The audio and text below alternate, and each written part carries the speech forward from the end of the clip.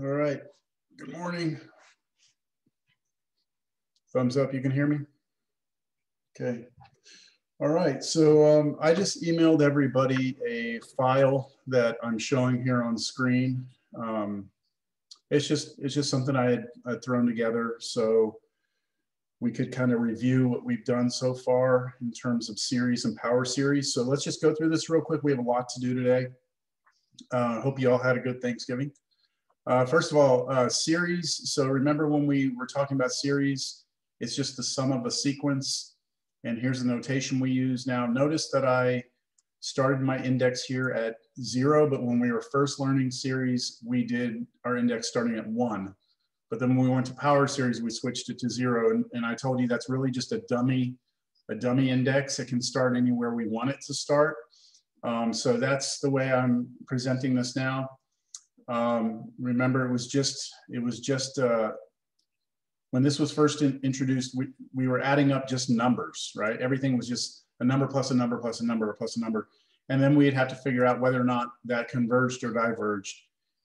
We were we were investigating geometric and telescopic series as the only series that we can actually find the sum of. So if they can, if you have a geometric or telescopic series that converges, we can actually find the number it converges to. Otherwise, we just have a bunch of tests that we use to determine just the convergence or divergence. We won't be able to see whether or not it adds up to a number, or uh, I should say, we are not going to find the, the actual sum. We'll just know it does add up to something or it diverges. Then we started talking about power series last time. So what happened here with power series is that we have we have a series, but now we've included this additional x variable in the, in the um, sum. And so the general form, we went over this last class, that's a general, general form of a power series, and that is called a power series about A or centered at A. So this number here next to the x is where we are centered. If you don't have an A next to the X, then you can imagine that that's an X minus zero, and that means we would have a, a power series about zero or centered at zero. Any questions on that notation or anything or terminology? Okay, so then we started to talk about, well, a power series can be looked at as a function. And the convergence or divergence of that series will depend exactly on what happens, what's going on with X. So if X is a value for which the power series converges, then we can define the power series as a function. And that would be a well-defined function as long as the X we plug in gives us an output that, that is convergent. So we would say that the domain of this function f is the set of all x values for which the series converges any x value that you plug in here that would make it diverge would not be in the domain of the function. So from that, we had a theorem. This was very important from the end of last time. It says that if you're given any power series, then there are only three possibilities when it comes to the convergence of that power series. It's only going to converge at a single point when x is a. So if I replace this x right here with a, then that's a minus a, that's zero, zero to any power is zero. So you're just gonna be adding up zero infinitely many times, zero plus zero forever is zero, and that converges to zero. So you can have that happen, or you can have it converge for any value of x. That means no matter what x you ever plug in, it converges. Um, or you can have it converge on an interval, on a single interval. And if it converges on an interval, then there exists some capital R so that such that if the distance between x and a is less than r, then we have convergence. And that capital R is called the radius of convergence. And then you can determine from that using the property of absolute values, and we discussed this last time, how you solve this, in, solve this inequality, drop the absolute value bars. I'll go through an example today. Um, once you do all the algebra on this, you can determine the interval of convergence. And there are four possibilities when it comes to an interval. You can have a closed interval where both endpoints are included. You can have an open interval where you do not include the endpoints, or you could have left endpoint included, right endpoint not, or left endpoint not included, right endpoint included. So there's only four types of intervals that we can have. And that is called the interval convergence. So generally speaking, if you're asked, if you're given a power series and you're asked to determine capital R, the radius of convergence, all you have to do is set up this inequality. And then whatever this number is, well, you're done. That's your R. But if you're asked for the interval of convergence, you actually have to find the interval and then you have to test the endpoints. Now, I gave you three examples on Wednesday. We went through and I gave you an example of each one of these scenarios. So I'll just remind you that last time, these are the three examples that we did. I won't go through the work, but we did the ratio test on each one of these. You can look in your notes. And we determined on the first example, we had a radius of convergence of infinity. And that means the interval of convergence was everything, right? So no matter what, it converged. And what I have here for you now is um, the opportunity to look at that power series. So here's that power series, um, or that, yeah, that power series. I'm, I'm gonna just start showing you what this converges to. So there's not a lot you can see from this other than the fact that when you take this sum and start adding up all these powers of x, that you're starting to get a function, okay? And the more powers of x you go, okay, the more that this, fun this function um, becomes complete. So in the beginning, this is just adding up the first few terms. But the more terms we add, the more you start building the function out. And what this, what the radius of convergence being infinity means is that as I keep adding more terms, this function is going to keep going out left and right, and we can we can trust that that picture is a good picture. Now, that's hard to understand until you see the next example. Let me show you the next example, which is this one. That, oh, yeah, this is the order we did it. This power series, we said, yeah, it does converge, but it has a radius of convergence of one fifth, and the interval is negative one fifth to one fifth, and you don't include the left endpoint, you do include the right endpoint. So let me show you what that power series looks like. Let me get this one in here and this one out of here. And where the hell is it? There it is. So, and let me back this up. Okay, so um, I didn't put one fifth in here. Let me let me get one fifth in here. Hold on. X less than negative one fifth. X greater than one fifth. So this was, this was our interval of convergence.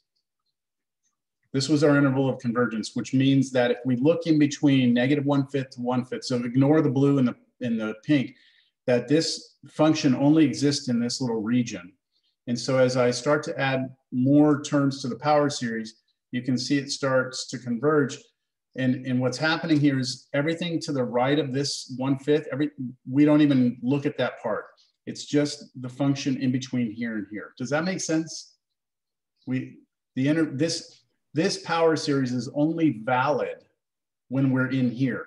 Anything on this over here, we just ignore it. Anything over here, we ignore it because we have divergence. Any questions? Okay, let me get this out of here. The last one we had was this one, and we determined with this one that um, when we did the limit and everything in the ratio test, it blew up. And the only way to control it from going to infinity was to let x be zero. So this was a, an example where it only converged at a single point. So the radius of convergence is zero and the interval of convergence isn't really an interval, it's a single point, x is zero. So if I plug x zero in here, I get um, the only valid point. So this is an extremely useless kind of series, uh, but I'll show it to you. Here it is. So what, what this is saying is that we're only allowed to look in this tiny little, only at a single point, and that's the only place that it's valid. No matter how far I go out with this, I have to ignore everything over here and everything over here. It's only, this function only exists at that single point. Quite, quite a boring function, not something that we would very find very useful, but it illustrates the three different scenarios. Are there any questions on that? You sure? There's gonna be a lot of information coming at you today. Okay, we're moving on. All right, so the next thing I want to talk about, where is it? Is, oh, kind of giving it away here. So I have, I have a uh, power series here. And this is actually a, a, a famous, famous power series. Uh, this is called a Bessel function of order, I believe this is order zero. Let me just double check that. Bessel function order zero, yeah. So there's, Bessel functions are used a lot in physics, in engineering. Um, they're used to model, um, they're used to model things that are vibrating. Like if you take a drum, right? If you take a drum, it has some membrane up here that you hit with the stick, right? You hit that and the membrane vibrates the shape of the vibration on the drum can be modeled with a Bessel function. So, so they're, they're useful, but that, that's not important to us. What's important to us is to show that this is a function. This is a well-defined function. And we're interested to know what its radius of convergence is and what its interval of convergence is. So that's why I said find R, find IC, interval of convergence. So what we're doing is we're saying, look, we're, we're looking at this as a function and we're asking ourselves, what's the domain? That's basically what we're saying. What's the domain of that function? So what we need to do is run the ratio test. Oh, and you know what? I didn't, I didn't point that out here. Very last note here. We use the ratio test to determine the convergence or divergence of a power series. So we're always going to be using the ratio test. All right. That's why I told, when I told you about ratio test, I told you how important it was. It's because that's pretty much all we're going to use. Okay, so I'm going to run the ratio test on this. And to save time, um, just remember the ratio test, I'm to have to plug n plus 1 into all of these, right? And then divide by just that and then flip it. So I've already done that work. Let me, let me move this up here. So you can see. Okay, so we replaced all of these with n 1s. So be careful when you replace this uh, when you replace that and that and that and that with n plus one, you got to be careful because that two is to distribute here and here. And then this n factorial becomes n plus one factorial. And then I divide by this, which is same as multiplication of the reciprocal. And then what I did is I just got rid of the, I got rid of the negative one parts because the absolute value is to make those go away. Um, and then when I did, when I did this one, I did x, that becomes x to the 2n plus 2. And then I split it into two, two factors, x to the 2n times x squared. And then when I did this one, this becomes 2 to the 2n plus 2. I split that into 2, 2 to the 2n times 2 to the 2. And then n plus 1 right here, factorial, I use the property of factorial to rewrite that as n plus 1 times n factorial. And you know what, at the end of class, I'll send you all my notes here that I have. I'll send all of these to you in a PDF so you can, you can have them. So you don't have to worry too much about copying everything down. Um, so I use the property of factorials to split that up. I still have squared here and then nothing really changed here. Last thing I did is I put the squared on each one of these. So I squared the n plus one, I squared the n factorial. And then at this point, a bunch of stuff cancels. So you've got this, this, this, this, uh, this n factorial squared cancels. And all you're left with is an x squared on top. So I put that here. And on the bottom, you have two squared, and then you have this n plus one squared right here. And so I've noticed I've separated, I've got the stuff with n's here, separated from the stuff with x's. And now we take the limit. And if you let n go to infinity, this goes to zero. And if this goes to zero, then it doesn't matter what x is, right? No matter what x is, this is gonna go to zero, and that will always be less than one, which means that it doesn't matter what I pick for x, which means x can come, x can come from any number, right? In between negative infinity and infinity. And so the interval of convergence is everything, and the radius of convergence is infinite. That means if I have, if I actually start drawing out this function, I'm going to use Desmos to do that. We can trust that the function matches in both directions forever. Now, it depends on how far we go with the series. So let me let me show you this series. Um, get rid of this one. Let's get rid of that. Where's that Bessel function? Here it is. Let me draw this back. Okay, so here's the Bessel function. Let me zoom it out here. So this is just the beginning. It's just the first few terms. As I start adding up more and more the terms, I get something that looks like this. And I'm gonna zoom out. So right now, we have some crazy stuff happening at the edges, but that's because I've, I've only gone out to the first 25 terms. The more terms I go out, the better it gets. Can you all see that so far, like in here, this kind of looks like, it's almost like a sine function that's that's been kind of dampened. Okay, so this is why we use this for, for things like vibrating membranes. You have, you have a higher amplitude in the middle, and then you have it, the, the amplitude starts to diminish towards the edges. So again, I just want you to see how you determine the radius of convergence and interval convergence of a power series. You run the ratio test, and then that's going to give you the one of those three cases, right? There any questions? Okay, so that is going to do it for 8.5. You know, the homework in 8.5 is almost completely, well, most of the problems that matter, which are problems 3 through 21, all say find the radius of convergence and interval of convergence. So that's make sure you do those problems because that guaranteed is going to be on the final. You're going to have to be able to, to do this. All right. And, you know, it's easy. I think the problems are easy when this limit turns out to be something like when this goes to zero, this is easy because your, your radius convergence is infinite. And it's easy also when this goes to infinity because then the only place that map, the only way you can control it is if you let x be zero. The harder case is where you have an interval. And that's because you have to always check the endpoints. So I would refer you back to last class, this example that we did, where we had to check the endpoints. I am most definitely, absolutely 100% going to give you a problem on the final where you'll have to check endpoints. Because when you check the endpoints, you have to actually do two tests, two different tests using the stuff that we learned from 8.4. Okay? All right, we proceed. So now what we're gonna do is move on to eight, six. All right, so eight, six is called representing a function as a power series.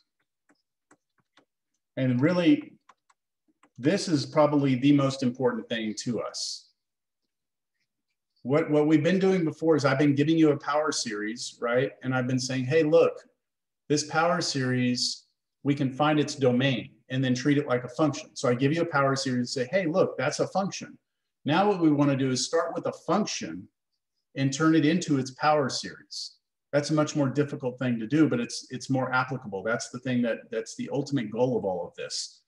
So in 8.6, we are going to stick to one and, and only one type of function that we can convert to its power series. So we're very limited in this section. We are going to use this. So just, I want you to keep in the back of your mind that right now what I'm giving you is not something that allows you to take any function and convert it to a power series. It's only one particular one.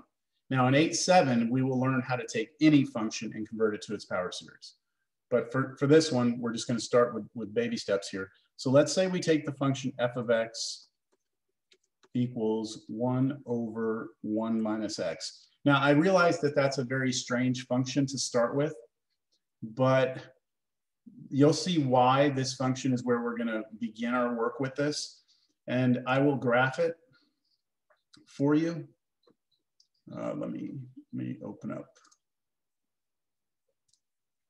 Yeah. Okay, so just so you see the graph, here it is. Here's here's the graph of one over one minus x. You can see we have a vertical asymptote at one, right?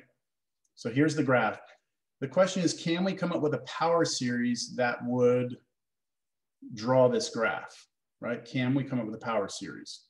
And I'm gonna kind of um, spoil it here. I'm gonna show you the power series. Let me back it up a little bit. Here's the power series. You can see this red line right now is not a very good approximation of this black curve. But as I go more terms into the power series, do you see it trying to wrap itself around that function? Now, do you see that we're not doing a very good job over here and we're not doing a very good job over here? It looks like maybe this is only valid if we're looking maybe in that little window. If we look in this little window here, then we are, we've got some power series that looks like it's matching up with that function. Do you all agree?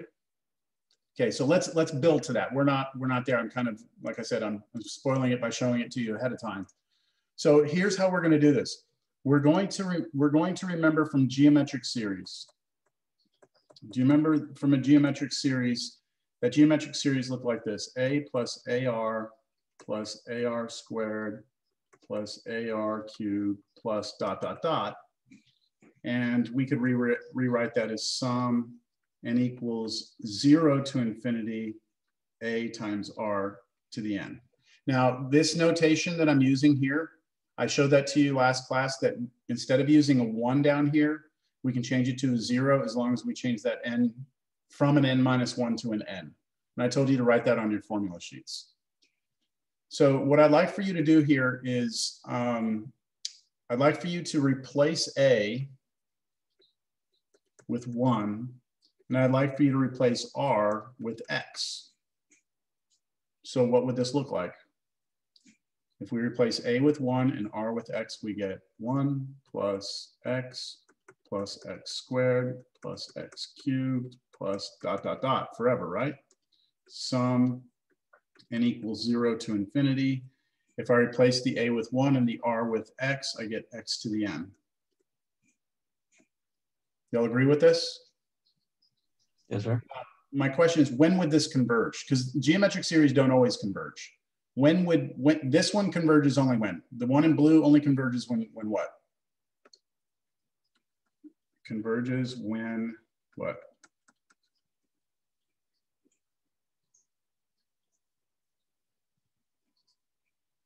When the absolute value of r is less than one. Yep, when the absolute value of r is less than one, right? That's the only time we have convergence here. And so this series should only converge when the absolute value of x is less than one, right? This is gonna converge when the absolute value of x is less than one, because that's really, that's our r in here, right? So here's what we're saying, is that, well, let me, let me ask you this question before I, before I get to this over here what would what would the blue converge to? Let's say that this blue converged. What does it converge to? If it converged. So if the absolute value of r is less than one, didn't we have a formula for it? What was the formula? A over minus r. One minus r, right? Wasn't that what it was? So let's say that this one converges. Let's say that the absolute value of x is less than one. Then what would this converge to? Well, A is one, right? So one over zero. One minus, I'm using this formula, but I replace A with one and R with X, right? So one over one minus X, right? That's what it would converge to. It now, the, there's a big if here. The absolute value of X has to be less than one for this to be true. So that's, this is what we have from this, is that this function, f of X, equals 1 over 1 minus x should be equal to the sum n equals 0 to infinity of x to the n if the absolute value of x is less than 1. In other words, this function, if you look at its graph, it should match the graph of this power series so long as you're, let me write this a different way, so long as the x is between 1 and negative 1 right? That's how we redo, that's how we do these absolute values. And again, to be clear, this just means one plus x plus x squared plus x cubed plus forever. Are there any questions? No. So if I go back and I look at this graph, okay, let me go back and look at this graph. Right now, right now, what we're seeing here, uh, you know what, let me change this to zero. See if that works. Okay, I have to write on my screen. So right now, oh shit, what the hell is that? I think you might have hit inspect element. Yeah, I know, but uh, my shortcut, I upgraded, I updated um, my pen writing software that writes on my screen and my shortcuts are now bringing up shortcuts from other programs. I need to go and fix it. But uh, let me do this. Let me go back to the pointer. Let me close this out. Let me just select it instead. Okay, so um, right now, okay, remember this, the one in red right now is just the one, okay? It's just one, all right? That's all it is. Do y'all see the constant one function? So now I'm gonna increase that and now it's gonna be, now what we're looking at is, yeah, this is a pain in the ass, is one plus x, okay? So that's, that's this line, got it? And now I go, I go again. Let me increase it again. And now I should have one plus x squared. That's this. Do y'all get the idea? And as I drag this across, I'm getting more and more. So I'm gonna just stop writing that. Let me see if clearing the screen does it. Okay, so now I'm gonna just drag more and watch what happens. Boom, boom, boom, boom, boom, boom, boom. And if I'm looking just between negative one and one, okay, you can see that the red one, go back here, the red one is, is, is wrapping itself onto the black one. See that? Now, you might be asking yourself, or you might be saying to yourself, well, what the hell is that? What's the use of that? If I'm interested in what's happening over here, right? Well, remember how we said these power series are centered at, right? Centered at. Right now, this power series is centered at zero because you can see that it goes to the left one unit and to the right one unit. If I'm interested about in what's happening over here, what I would do is I would shift my power series and center it somewhere else. And then it would give me, uh, it would map itself to the function over here. Does that make sense? We're gonna see that a little bit more in a minute, but um, don't be, don't be discouraged or don't be uh, trying to sell this stuff short by saying, well, you know, it's only working in that little interval, so it's not that good. It's not, you know, what's the use? It's useful. We can move it anywhere we want. Okay, now let's try, uh, sorry, that had my next example on it, what I wanted. Okay, so let's do that one, x cubed over x plus two. So now what we wanna do is take the function um, f of x equals x cubed over x plus two. And I want us to find the power series for it.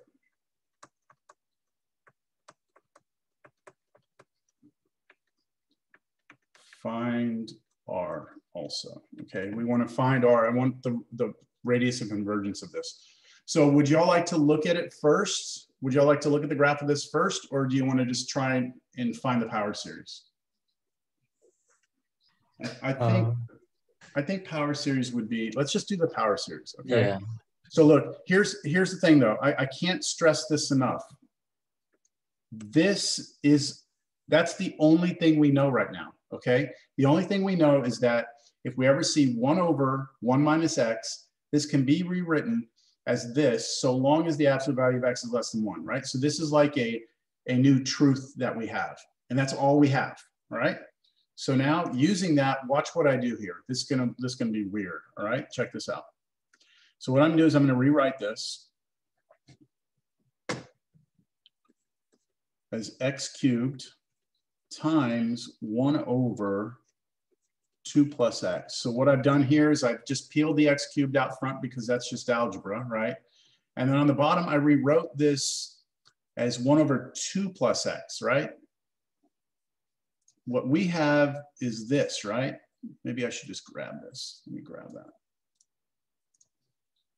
Let me slap this down here. I'll make it a little smaller so it'll all fit.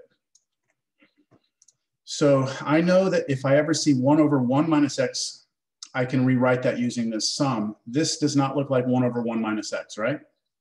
But again, more algebra, watch. X cubed times one over, okay, so what I'm gonna do is I'm gonna factor a two out of the bottom. Okay, so I'm gonna take a two out of both of these. I take the two out of this one, I get a one.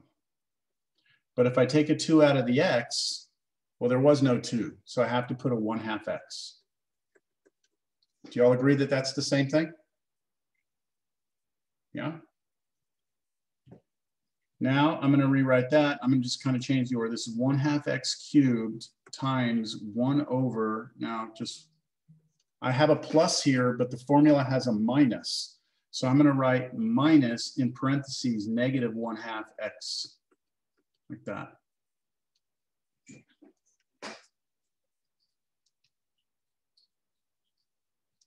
Okay, we good? Now, squint your eyes.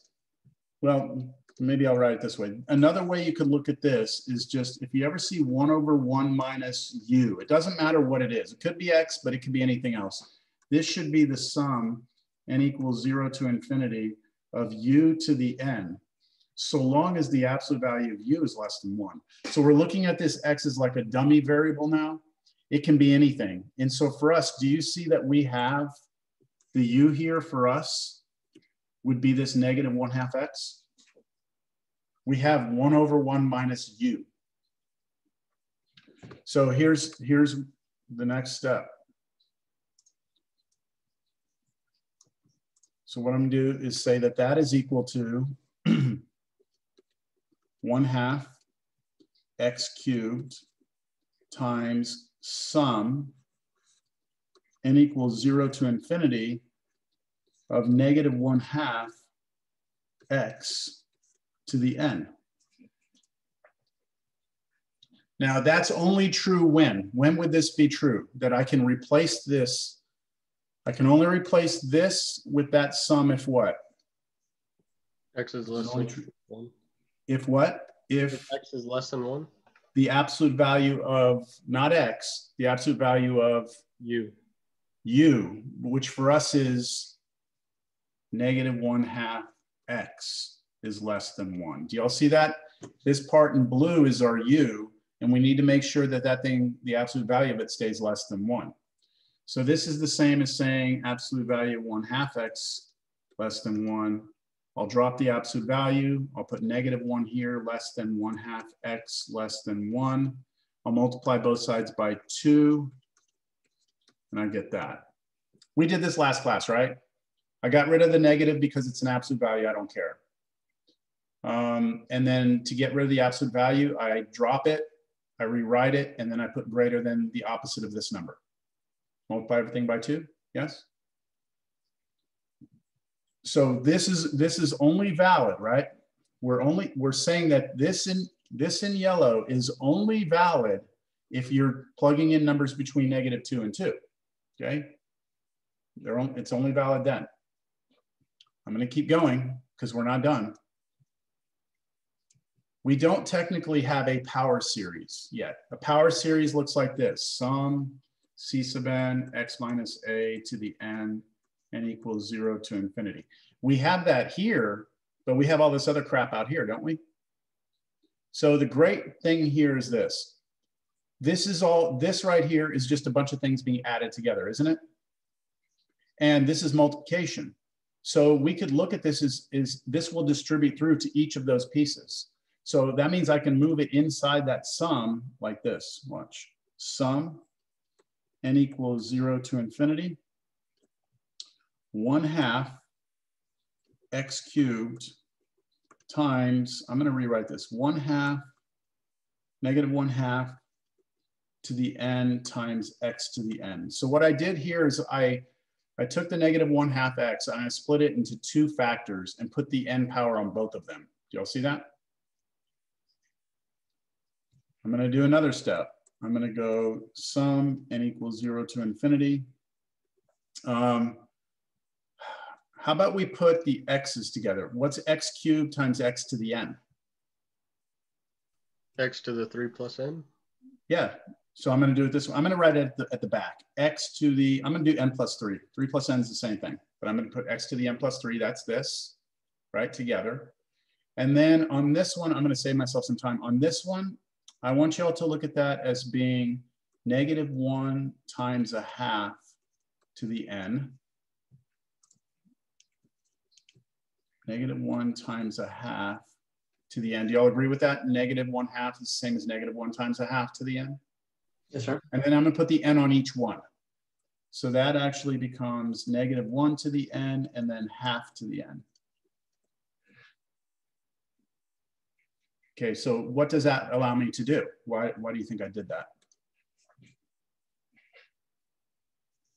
Can I do something with that one half and that one half to the n? Can I multiply those two together? Add their exponents? What would that give me in front of this? One half to the N plus one. n plus one, okay? And then what's in front of that is the negative one to the n. Now this, this is a, this is a power series, right? It's pretty, pretty close to being a power series. It's all in one piece, right? We have, we have something that looks like this. The only thing that makes it not technically a power series yet is that this needs to be an n up here. Okay, so what I'm going to do now, and this is this is kind of this always causes student problems. I, what I'm going to do is I'm going to force this n plus three to become an n. All right. So here's think about this. If I replace this n right here, if I replace that n with n minus three, do you agree that n minus three plus three would give me just n? Yes? So that's what I'm gonna do. I'm gonna replace that n with n minus three, but whatever I do here, I have to do everywhere. So I'm gonna replace every n I see with n minus three. Let me write that down and let's see what it becomes. Sum, okay, this n right there has to become n minus three equals zero to infinity. And then I have negative one, not to the n, but to the n minus three, right? And then I have one half, not to the n plus one, but to the n minus three plus one. And then I have x to the n minus three plus three.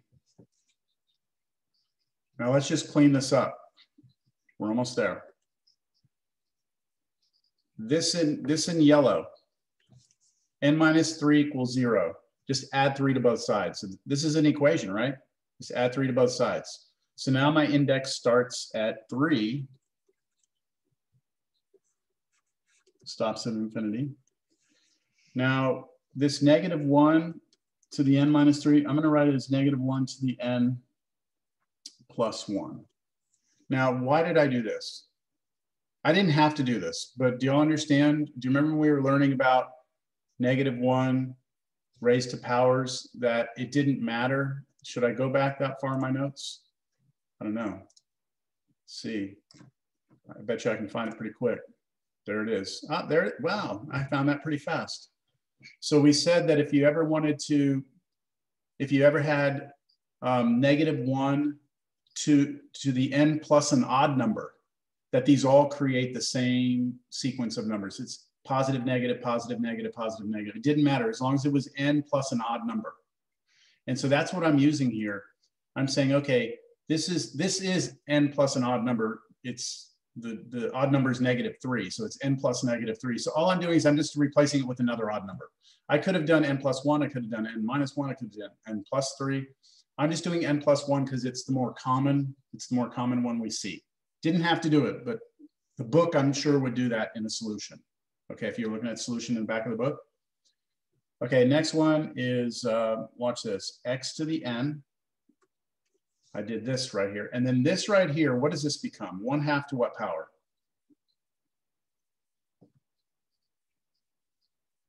One half to the n minus two, right?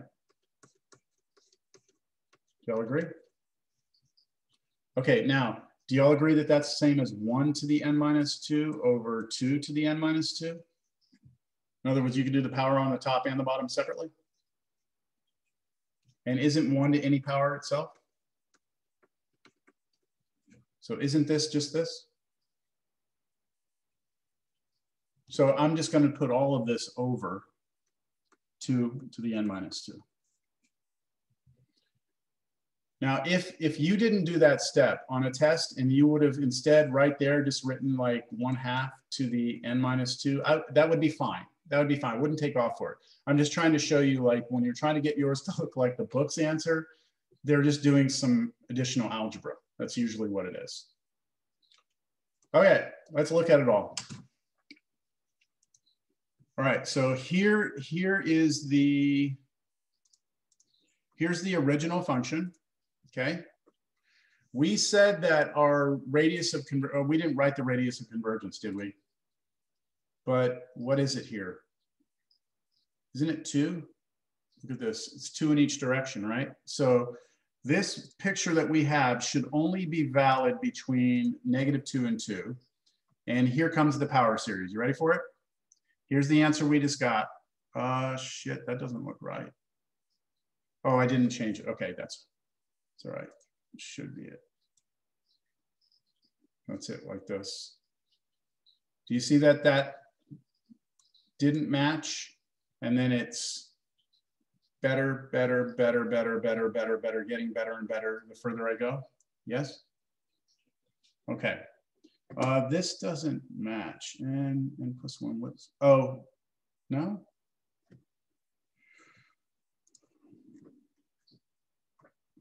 Negative one to n is starting at three. Oh, you know what? I started at zero. Yeah. Um, yeah, I left it in the other form. Is that the other form? Yeah, it was this one, right? Yeah. So in the way I put it into the computer, I didn't I didn't change the index. I didn't put that back to an n. I left it this way. That's why I typed it into the computer.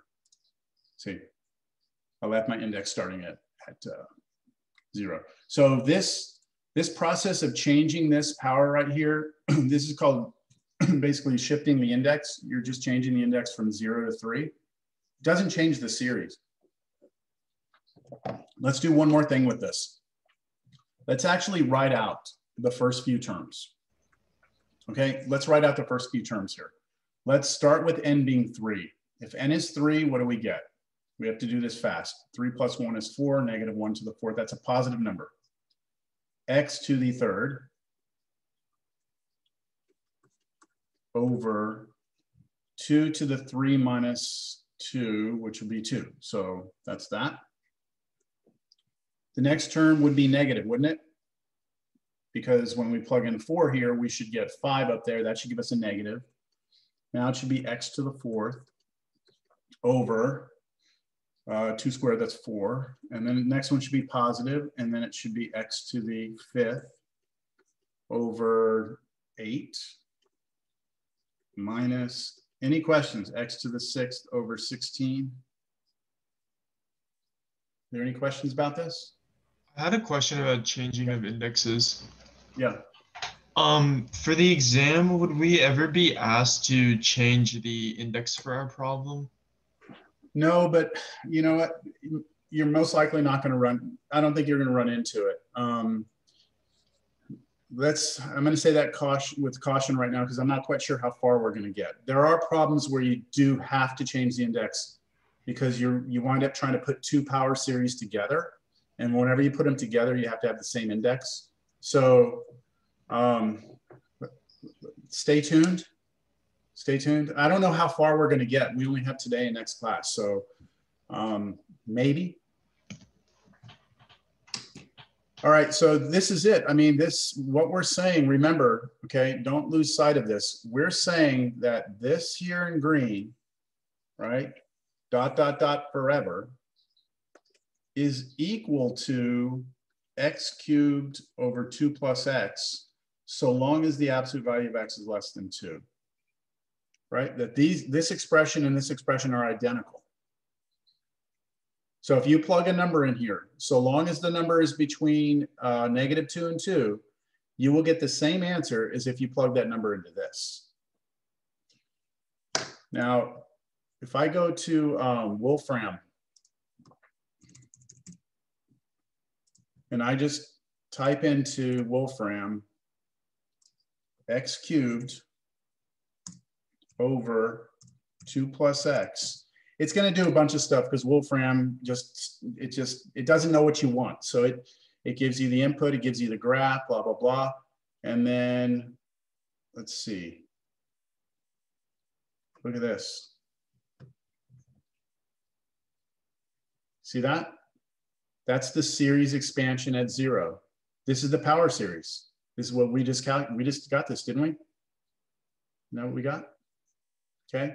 So the, the whole idea here is that now, and I'm really getting ahead of myself now, but if we had, to, let's say we had to integrate from zero to one, x cubed over two plus x dx. Let's say we had to do that integral. All right. That, that might, that's probably gonna be a tough integral to do.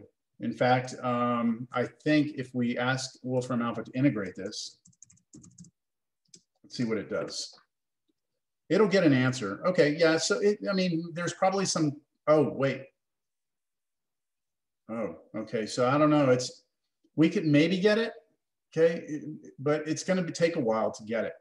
So instead what we could do is we could say that this integral is approximately equal to well, we don't even have to say approximately. We can say it's equal to the integral from zero to one of just replace this with its power series. I'm gonna write that as one half x cubed minus one fourth x to the fourth plus one eighth x to the fifth minus one sixteenth x to the sixth plus dot dot dot dx.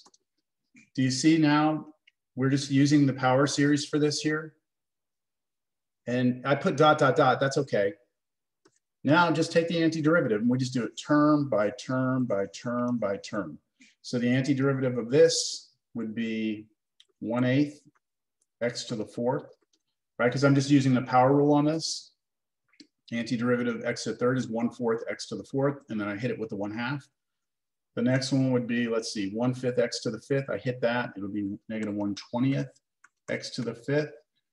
And then if I plug in the next one, six here, I get one uh, plus one over eight times six is 48, x to the six. Do you get the idea? Yes? And now I could keep doing this, right? Now I'd, I'd, I'd want to stop somewhere. I'd want to stop because I have to actually compute this. So maybe I just use the first, maybe I just use those first three and I evaluate it at zero and one. So I plug one in here, I plug zero in here, and I get a decimal answer, right? I'll get, I'll get an approximation. Now, if you would like for me to get a closer approximation, I just have to go further out in the power series. And if you want more a better approximation, I just go further out, right? And in the real world, that's all that matters, right? We don't necessarily need exact answers in the real world because we can only manufacture things within a certain precision, precision anyway, right? So I think I mentioned this in very beginning class. If we're making ball bearings for an aircraft, we have to have very, very tight tolerances on that manufacturing process. And so we might have to go out, you know, maybe 10 of these, 12 of these. And there, there are formulas to determine the error, error that you would get. And, it, and there are formulas to tell you how far to go. I'm not going to get into that because we don't have time. But if we're making those for an aircraft, we, we, we're going to need quite a few terms in the power series to do it if we're making ball bearings for, for a tricycle, right? A, a $20 tricycle that you're going to buy at Walmart, right? The, the precision on that ball bearing doesn't need to be that great, right? So you, you only need a few turns. So it's not bad that we don't have an exact answer, that we have an approximate. It's not bad that we can't go to infinity. Okay, we can we can live with that. Okay. All right, where are we at? Um, So that was this one. Okay, we have another one to do. Here we go.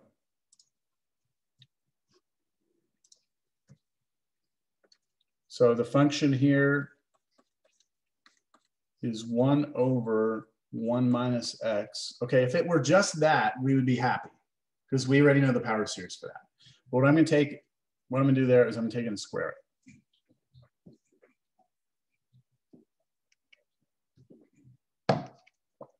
So I want us to find the power series.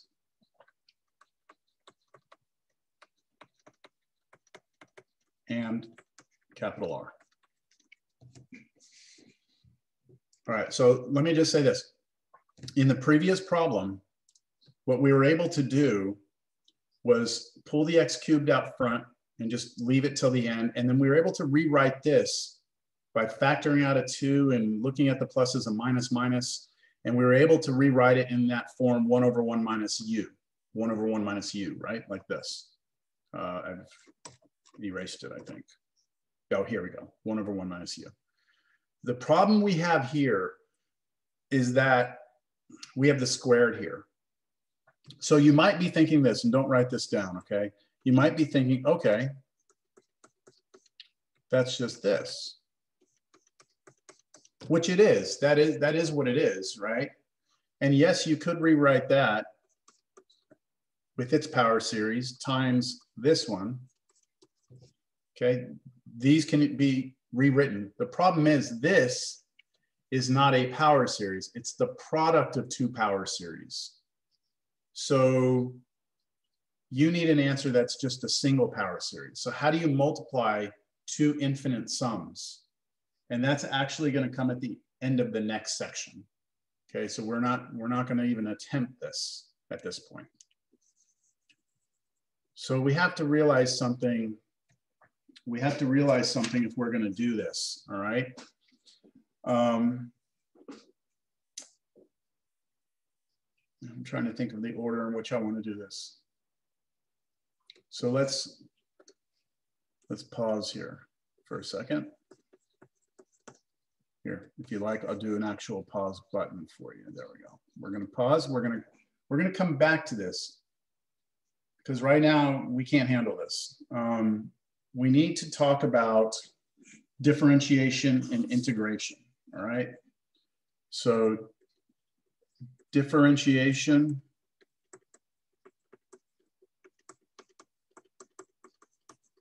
and integration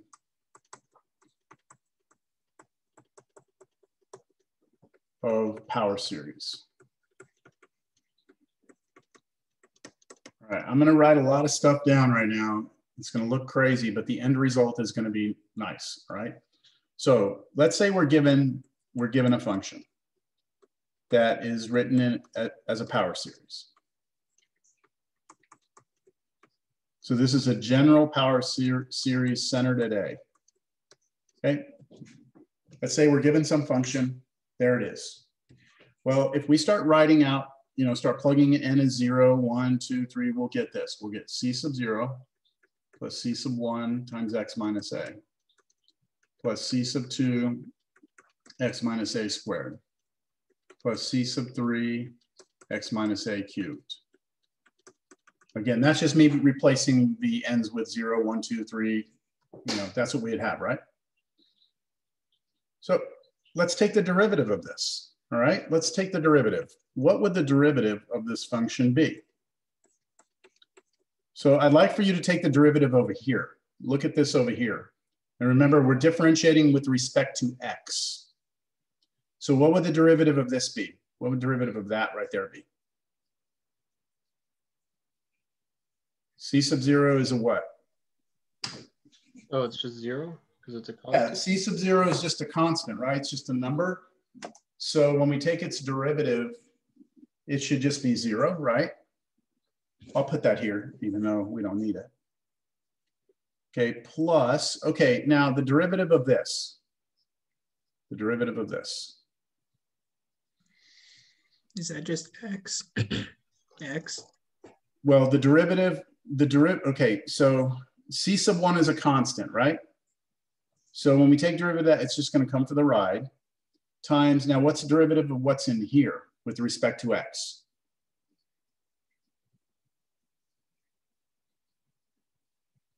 Would it be one minus zero? One minus zero, right? Derivative of x is one, derivative of a is zero, so that's just one, right? Derivative of that's one. Okay, so c sub one times one. Okay, plus, now the next one, c sub two is just a constant. I'm gonna leave a little space in front of it, you'll see why. c sub two is gonna come for the ride. Now we have, don't we have to deal with chain rule here? Doesn't this two have to come out front? So let's bring that two out front. That two is gonna go in front of the c sub two.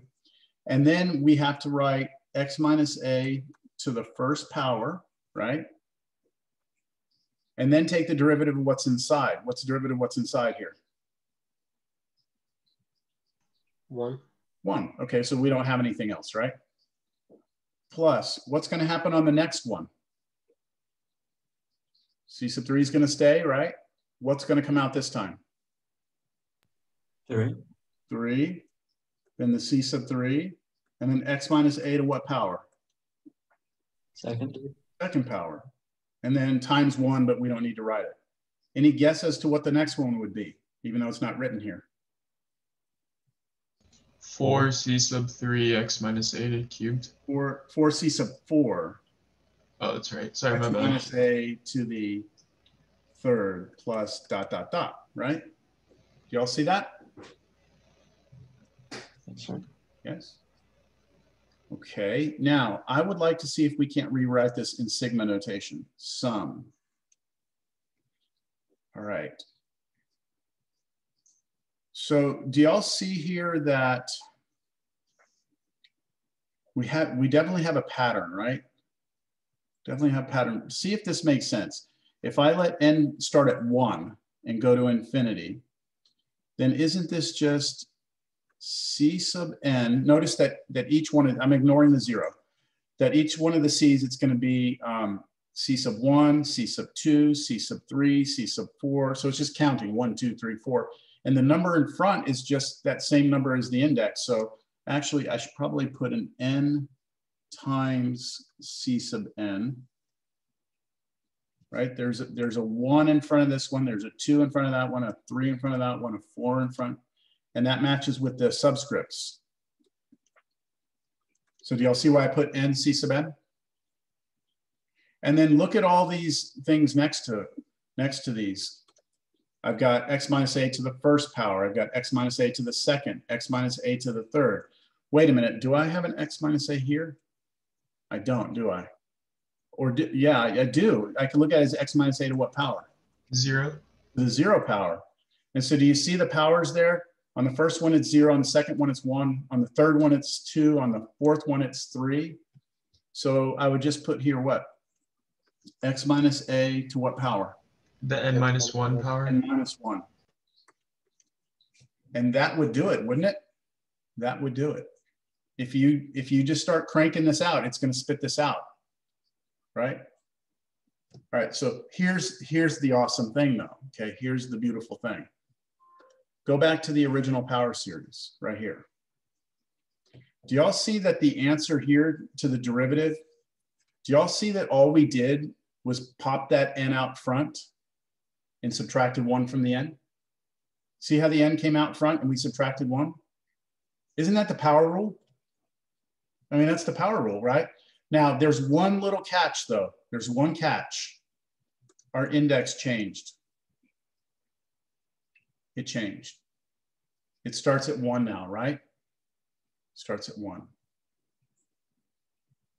So that's the general, that's the, the big thing you need to take away from this. If you take the derivative with respect to x of a power series, a general power series, if you take its derivative, you're going to get a new power series that starts at one and is equal to n times c sub n x minus a to the n minus one. And that's something we need to know. So differentiating the power series, just pop the n out, subtract one, and then change the index. Well, that's, that's the way um, differentiation works. You think integration works the same way? Let's try it. I want us to go back up to this. I'm gonna grab this real quick.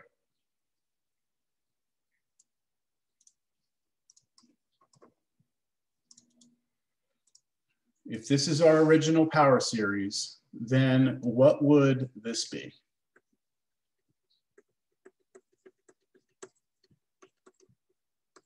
Well, you just take the antiderivative, right, of all of these things with respect to x. So do you all agree that since I'm taking the antiderivative, at the end of this, I'm going to have a plus c, right, no matter what? But it's an infinite series. So instead of putting the plus c at the end, I'm actually going to put the plus c at the beginning. I have some constant, I don't know what it is, plus, now let me start taking the antiderivatives. What's the antiderivative of c sub zero? C sub zero x, or would it be x c sub zero? Yeah, I'll do c sub zero x. Good. And then what would the next one be? Plus, okay, what's the antiderivative of this one right here? So just the way we, I mean, this is basically what I'm asking you to do. What if I asked you to do this? This might be a little bit easier for you to see. If I were asking you to do the antiderivative of a constant in front of x minus a number, you wouldn't care about the constant, right? And then you would look at this as almost like a little, you, you could do u sub here. You could do these one by one, couldn't you? Like each one, but do you all agree that that would also be the same as one half x minus one to the two? If you don't believe it, just take derivative of this. Two comes out, kills off the half, and then you just have this thing to the first power, which is the original problem. So I'm just gonna do the power rule on that linear expression. So when I do this one here, right, when I do this one, I'm gonna have a one half that comes out, the c sub one is gonna be out there, and then x minus a to the second power. Same thing on the next one. One third, c sub two, x minus a to the third power. One fourth, c sub four, uh, c sub three, sorry. x minus a to the fourth plus dot, dot, dot. Does that make sense? That make sense?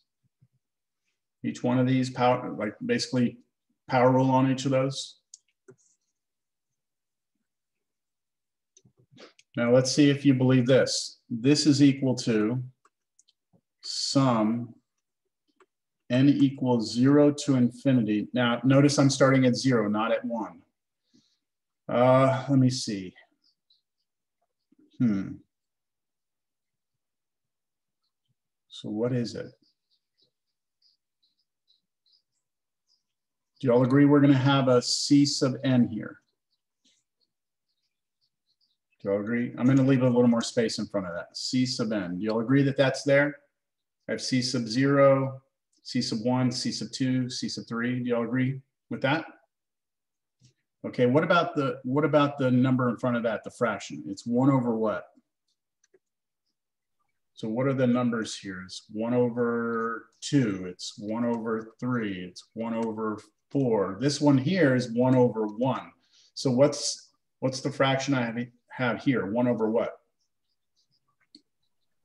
N. That's, well, we're starting at zero though, so Oh, it can't be uh, N plus one. n plus one, right? So if you plug in n equals zero, you get one. That's that one. If you plug in n equals one, you get two. If you plug in n equals two, you get three. And isn't that also the power that we see? Like this denominator is the power. This denominator is the power. This denominator is the power. This denominator is the power. So we should also have next to this x minus a to the n plus one.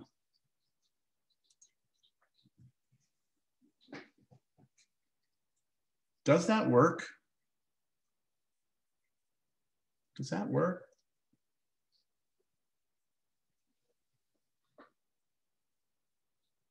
Let, let, let me ask you this. If n is one, does, it- does it give us something? If n is one, let's say n is one, wouldn't this be one half c sub one, x minus a to the two?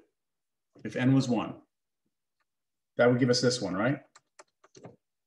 What if n was two? Wouldn't it give us this one?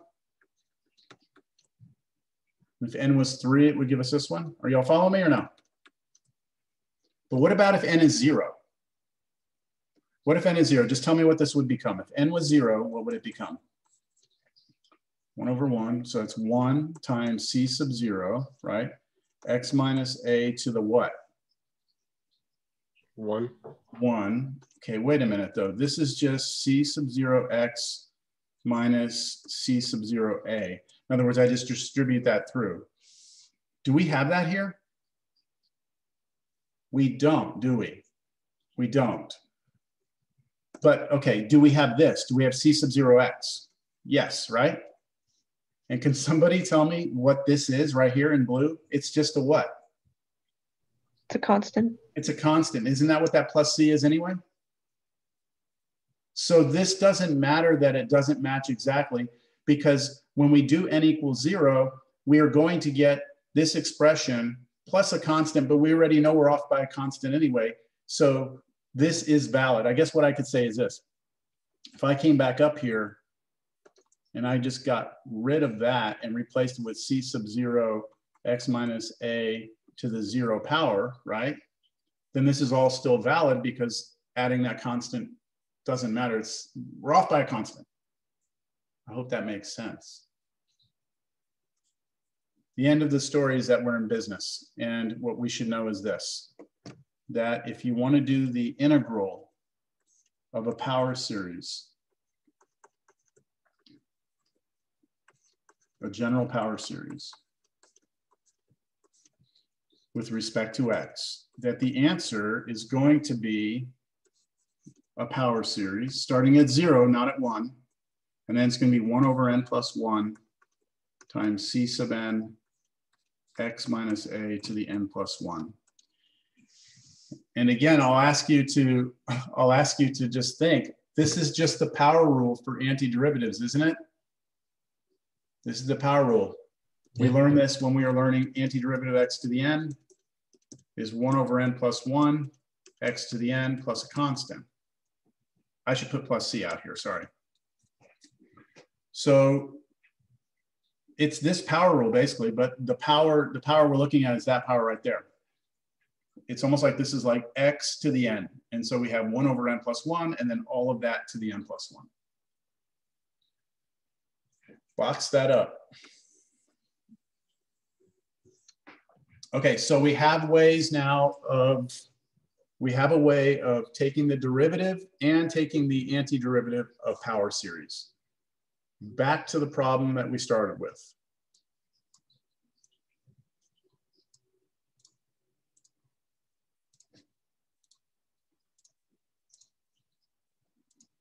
All right, so this is gonna take some really crazy kind of thought to, to get this one to work. Do you agree with this? Hmm. What is the derivative with respect to x? What is the derivative with respect to x of, of 1 over 1 minus x? Now, the reason I'm choosing 1 over 1 minus x is because that I know the power series of, right? This is not the original function. But this, this, I, this actually is something I can write a power series for. So what is the derivative of this? Let's just, um, let's write that down. What's the derivative with respect to x? Another way of writing that would be 1 minus x to the negative 1, isn't it? That's another way we could have written that. Now take the derivative. Just use your, use your rules from Cal 1. The derivative, the negative 1 comes out. 1 minus x to the negative 2 times negative 1. Does everyone see where all that came from? Negative 1 came out. Rewrite all this, subtract 1, take derivative of the inside, which is negative 1. What is that equal to? 1 over 1 minus x squared. Yep, that's 1 over 1 minus x, that quantity squared. Isn't that the original function? Isn't that what we were looking at? So I actually just had to realize that. I had to realize that that is the derivative of, of something. I had to realize that that's the derivative of this, right? Agreed? So therefore, 1 over one minus x, that quantity squared equals the derivative with respect to x of one over one minus x, but that's the same as the derivative of this power series.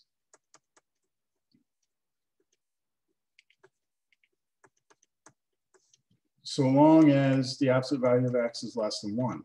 So what I'm doing here is I'm saying, okay, instead of instead of actually taking the derivative of this algebraically, I'm replacing this with its power series because that's what it is, so long as the absolute value of x is less than one. And now how do we differentiate this? Power rule. Yep, it's a sum. Where does it start? We're differentiating, so where does it start? One, okay? To infinity of now the power rule. n comes down times x to the n minus one.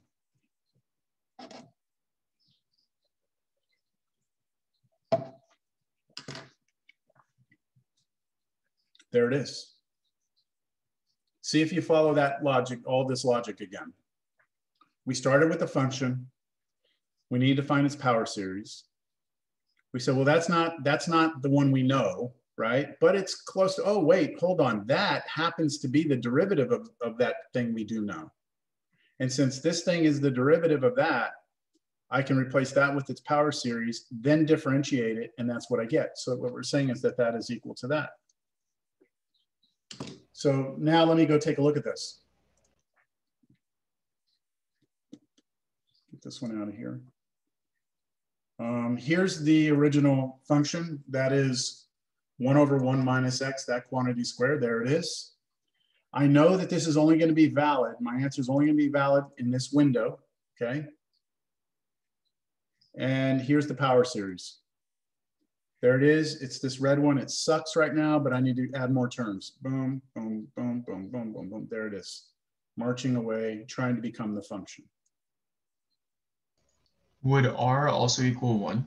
Yeah, I didn't say it, but right here, when we when we did this, when we re, when we replaced this right there, that step, I had to specify x, the absolute value of x is less than one. So that would mean that R is one here.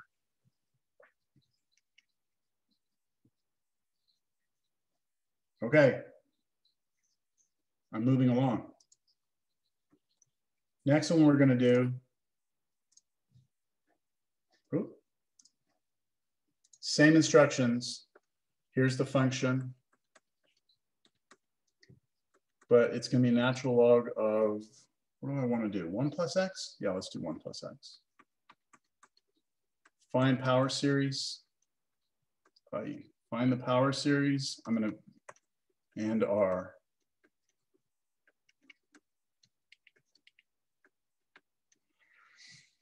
All right, the, again, this section, the only thing we know how to control or handle is this, right? This is the only thing we know.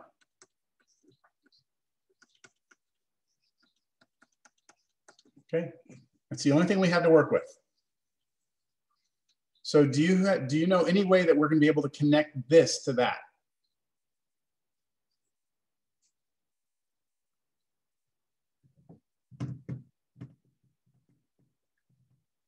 How could natural log be related to this? Uh, the antiderivative. Yeah, it's probably going to have to do something with the antiderivative, right? So let's just let's just see. What would the what would the antiderivative or we have two ways of going about this. What would the antiderivative of that be? Okay, let's just see what the antiderivative of this would be. Um, so maybe maybe we do this. We pull the negative out. Well, I mean, shit.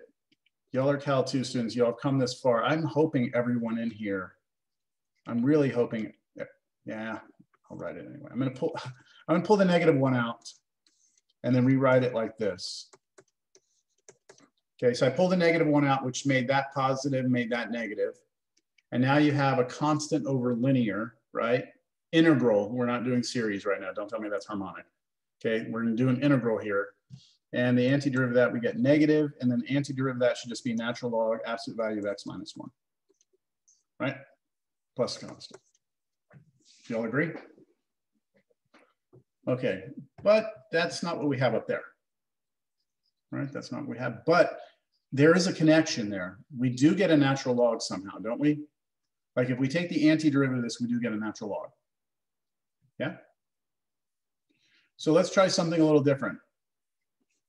That was just kind of thinking. Let's take the original function and let's take its derivative. What would the derivative of this be algebraically?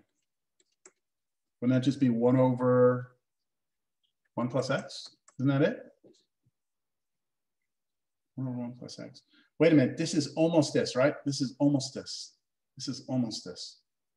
Well, it is. It's uh, 1 over 1 minus negative x. Do you all agree? Now, can't I rewrite that as a series? I can rewrite this as a series because this looks like 1 over 1 minus u, right? The u here is negative x. So this should be negative x to the n. And this is only good if the absolute value of negative x is less than 1, which is the same as saying this.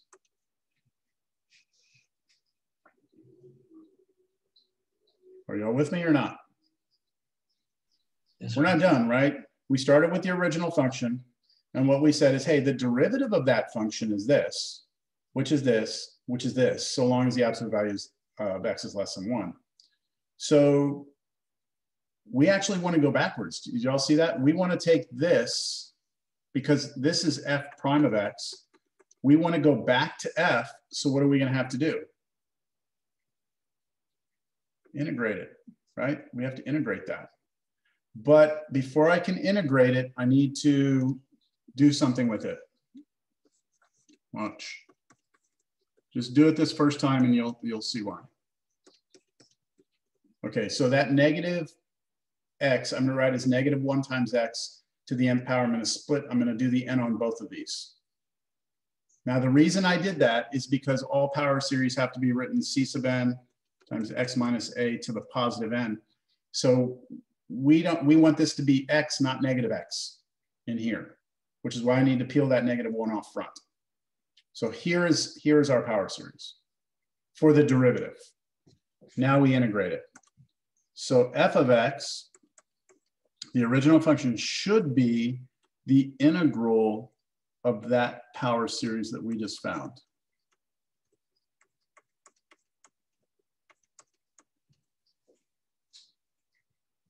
which is equal to, let's see, what is that equal to? Um, power rule, right? We have a new series, starts at zero, ends at infinity. The negative one to the n is the c sub n. That doesn't change, it's not affected at all. In front, I put one over n plus one, and then I do x to the n plus one. I really do hope that you see that in yellow here is the C sub n. So it's not impacted by the integration. The only thing that's impacted is the power on the X and the constant out front. There it is.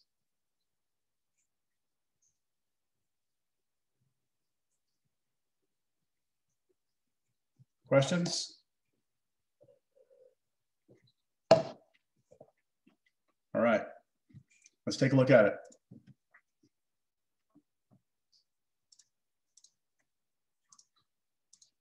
Okay, here's the natural log of one plus x, right there. And here's our power series. Here's our window. And then here comes our, oh, what the hell is that? Why do I have a, why do I have a circle there? Oh, I know why.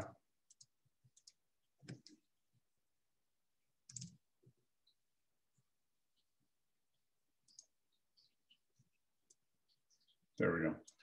So I, it, it, it's taking that as a polar equation.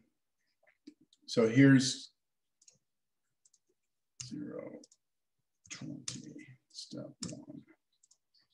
Okay, here we go. There it goes, starting to wrap itself there. Okay.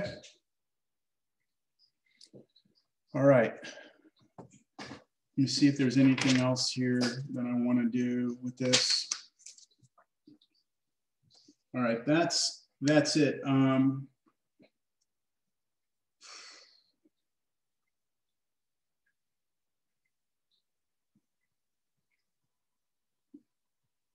I would say that the most important problems in the homework for that section are problems three through 10, three through nine.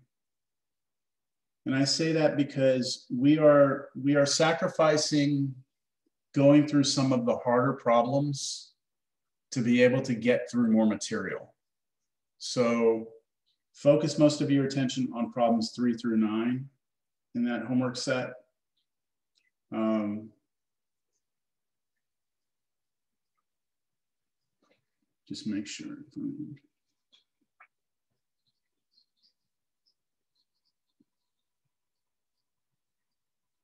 Yeah. Yeah, just focus on three through nine on that. If you go and you go past that and you do the other, you're just going to have to kind of see what I'm doing as I'm doing the homework because I, I haven't given you examples of it. I haven't shown you them. So, but I won't test you on, I'll only test you on things that are coming from like three through nine. All right, I'm not going to push any further than what we've done here. All right, I wanted to at least start 8-7 today. Because 8-7 is where it all comes down to, okay, you know, if somebody gives you a function, how in the world do you come up with its power series, right? Like, how do you find it? This, we were relying very heavily here on this, right? Everything was based on this. If we couldn't somehow make this look like this, then we are dead, dead in the water, right? So eight, seven.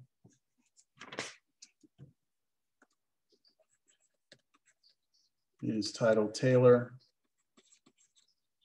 and Maclaurin series.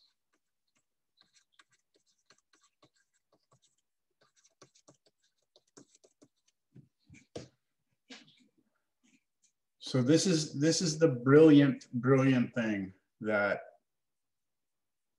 Newton was able to come up with that Leibniz didn't, all right? So here's the idea. If you're given a function,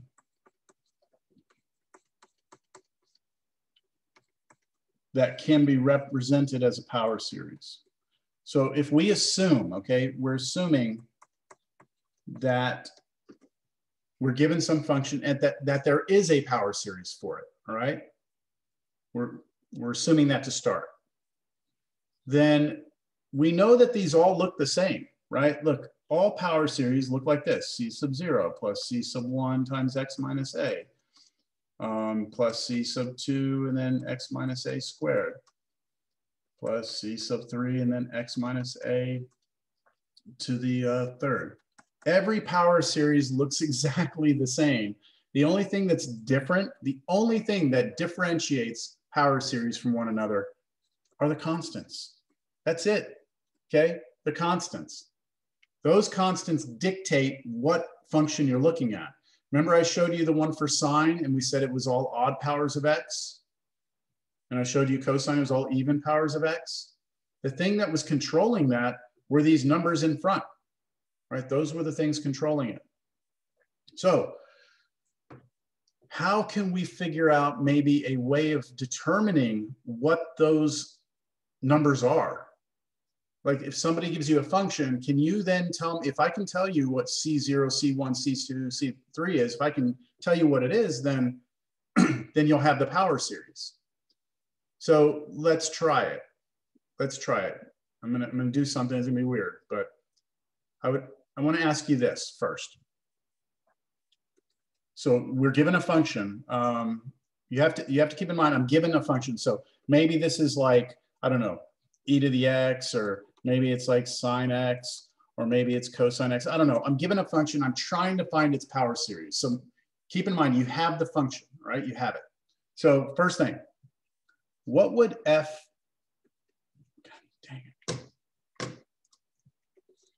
what would f of zero be? Or sorry, f of a, I meant to say a. What would f of a be? Well, if you plug a into this power series, what would you get? Right here, plug it into here, what would you get? a minus a to some problem or some number.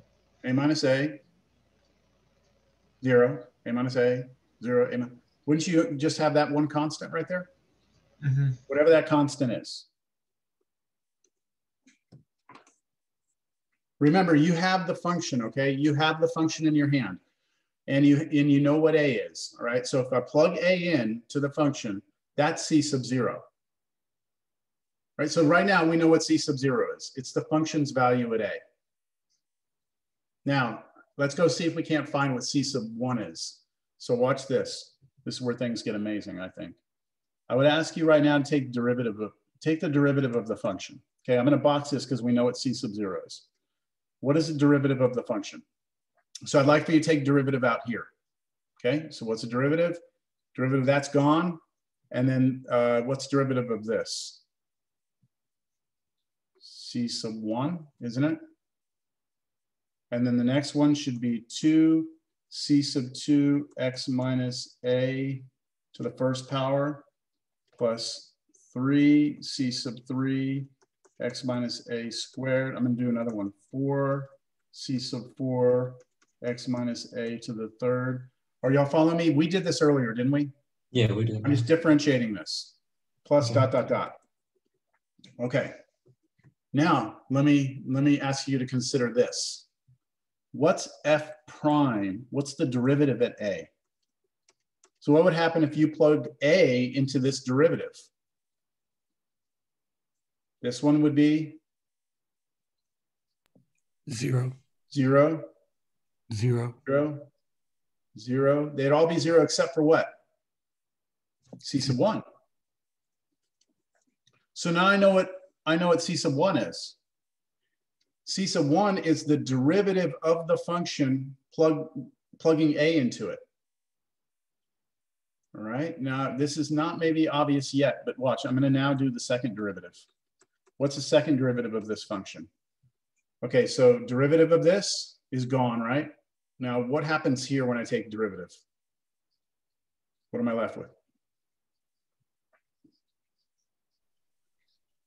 Two C to the two. Two C sub two, right? And then all derivative, that's just one. Okay, plus, now be real careful here. What happens here when we take derivative? Three C sub three is just a constant, right? But this two comes out, doesn't it? That two comes out. So I know you want to say six, but don't say six. I'm going to write two times three, C sub three, X minus A to the first power. Plus, what would happen on the next one? Three would come out, right? I know you want to say 12, don't say 12. Three times four, C sub four, X minus A to the what? Second, right? Plus, and then there's more, isn't there? Anyone have an idea what I'm gonna do now?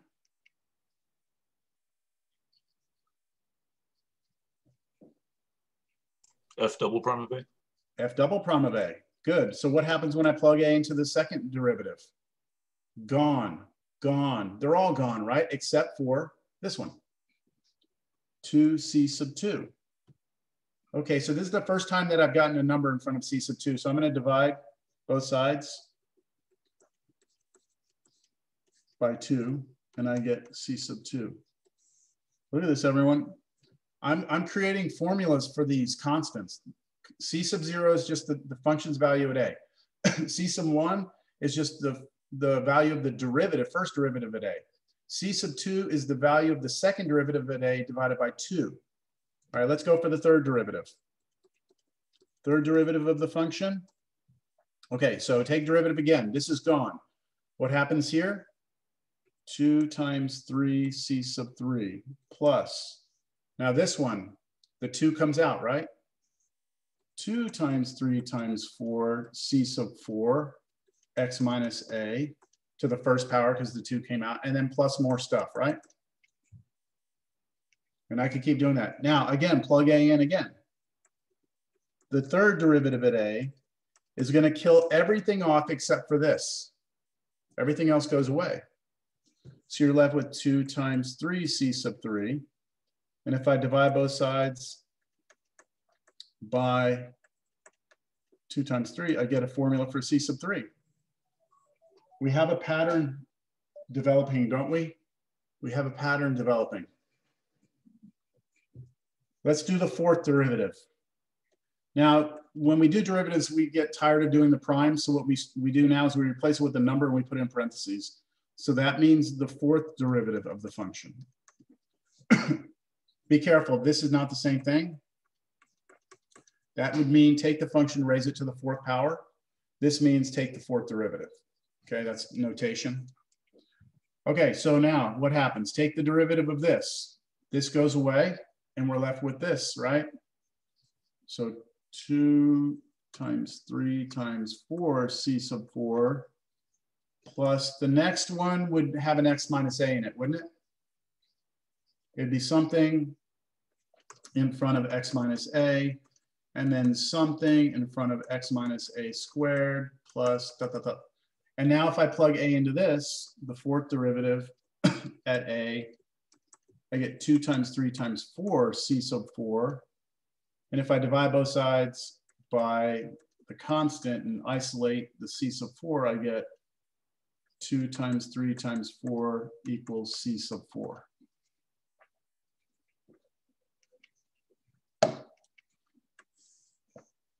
you all see the pattern? So maybe we can make a guess now. What would C sub n be then? What's the general formula? What's the general pattern that we have here? It should be the what derivative of the function? The nth derivative. Okay, evaluated at A, right? Divided by what? This is the key. What is two times three times four? What is two times three? What is two? What is, what's under, what's under both of these? This is, this is a one under here, right? And that's a one under there. Right. Would it be n factorial? N factorial, exactly. N factorial. N factorial. And this, everybody, is beautiful. That is a formula that gives you the coefficients that you need to create the power series for any function. Now there's a catch to it. You have to be able to take derivatives. But you have we have a way of doing it, okay? We have a way of doing it. So I, I have enough time to show you one example. Here we go. Find, oh, that's called the Taylor series, by the way. I'm not,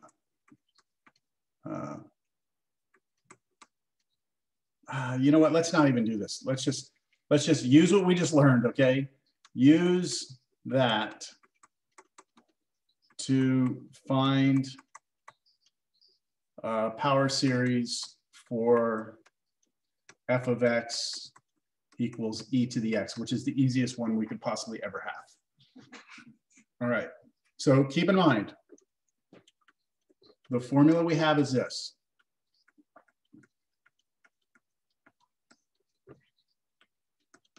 Okay, um, and we're gonna do it, sorry, I didn't put this about x equals zero. I have to tell you where we're gonna center our power series, so.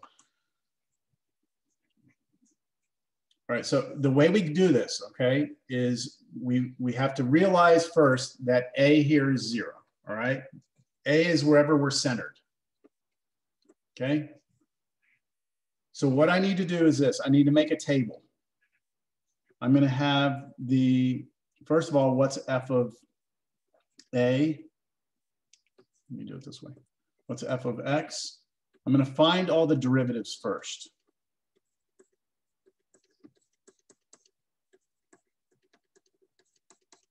Okay. Find all the derivatives of the function. So let's just do this. What's the original function? e to the x. Great. What's its derivative? E to the x. e to the x. Okay. What's its derivative?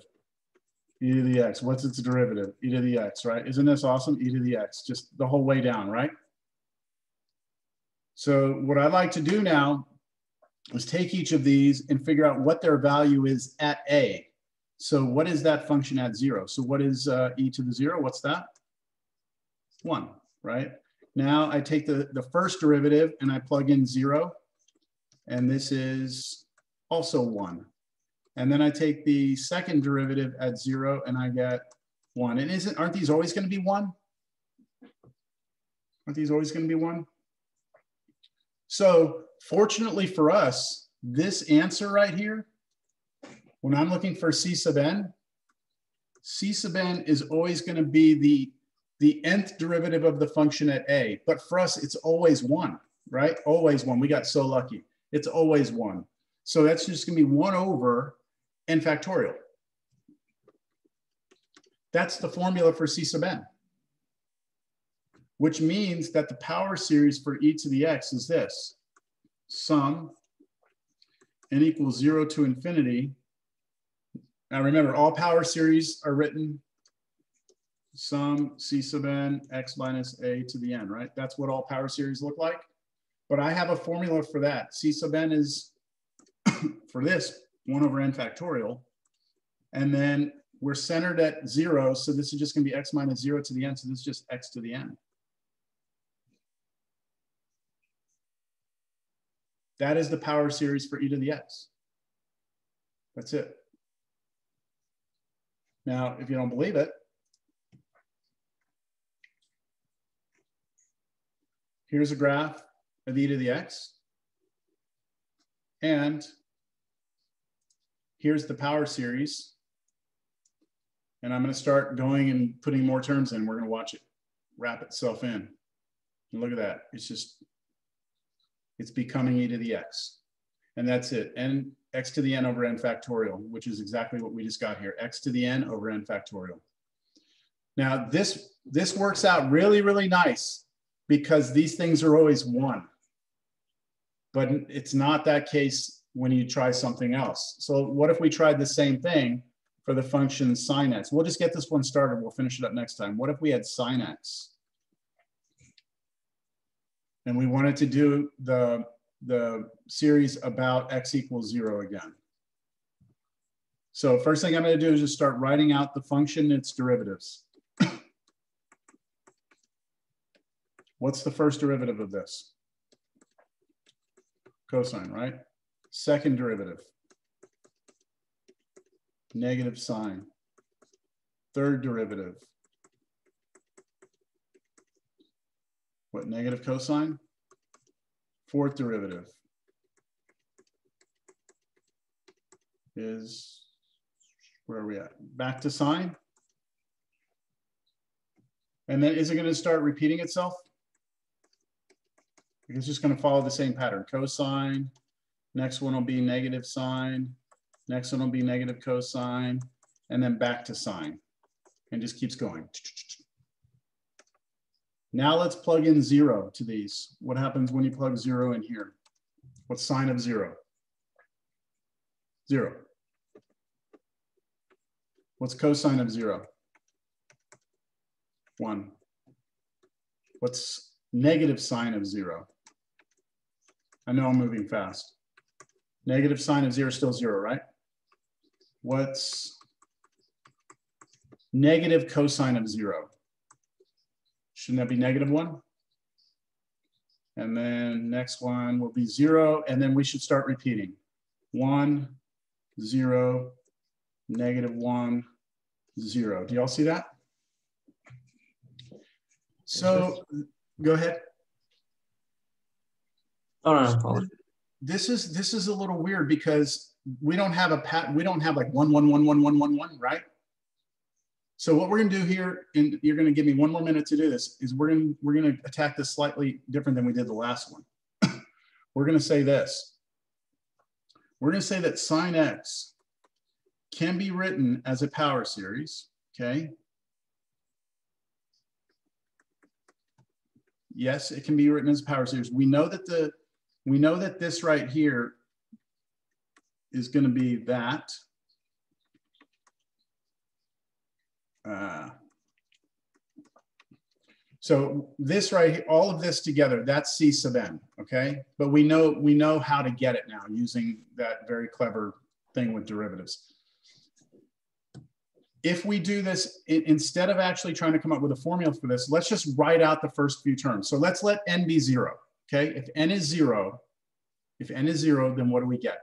If n is zero, aren't we looking at this guy right here? Because that's, that's the zeroth derivative of the function. That right there would give us that first number. So that would give us a zero over, and now I plug in zero for n factorial, so zero factorial and then x to the zero. That'd be our first term. Plus, now we plug in n equals one. And when n is one, we're now plugging that number in for the top over one factorial. So one over one factorial x to the first power. Now I plug in n is two. So when I'm looking at two, now I'm looking at this answer. So when n is two, I get zero over two factorial x squared. Are y'all following me? Now I plug in three. When I plug in three, I'm here at this one. That goes into the top. So it's going to be plus negative one over three factorial x cubed. And then it's going to keep repeating, right? Now I'm going to have plus, I need to go on a different line here. Plus, who wants to tell me the next one? I'm out of time. What's the next one though? That's the top, right? Zero over four factorial x to the fourth. Okay, and then the next one would be, One over five factorial, x to the fifth. and then next one, zero over six factorial x to the sixth. And look, if you start canceling this stuff out, I appreciate y'all hanging out here. If y'all start canceling everything that has zero in it, right? You get x minus one over three factorial x to the third plus one over five factorial x to the fifth. And you can predict what the next one would be, one over seven factorial x to the seventh, and so on and so forth. And that is your, that is your power series for sine. Okay, we will definitely pick up with this next time. Um, try and do, um, like I said, eight, six, problems three through nine and more if you feel like exploring more. And for eight, five, um, yeah, all those, find the interval of convergence and radius of convergence. Next class, I'm gonna just do as much as I can and we'll talk about the final, okay? Have a great day, everyone. You too. Thank you. Thank you, Professor. Have a good one.